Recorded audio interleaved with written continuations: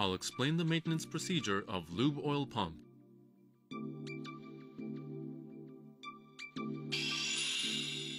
Firstly, disconnect the suction pipe from the lube oil pump and then remove the pump.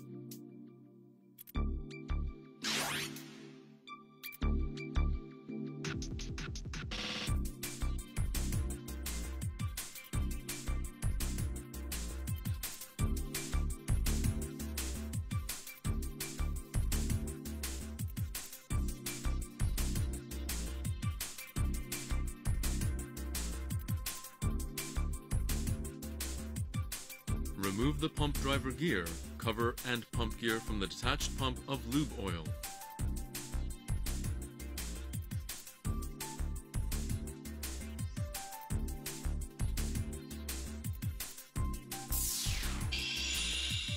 After disassembly, check the parts. Firstly, check for abnormal contact and abrasion on tooth surface of pump gear. Check for flaws and seizure on side of pump gear.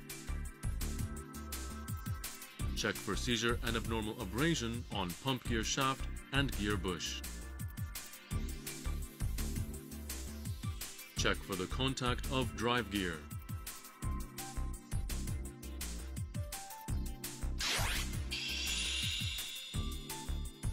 Reassemble the lube oil pump in inverse order for disassembly.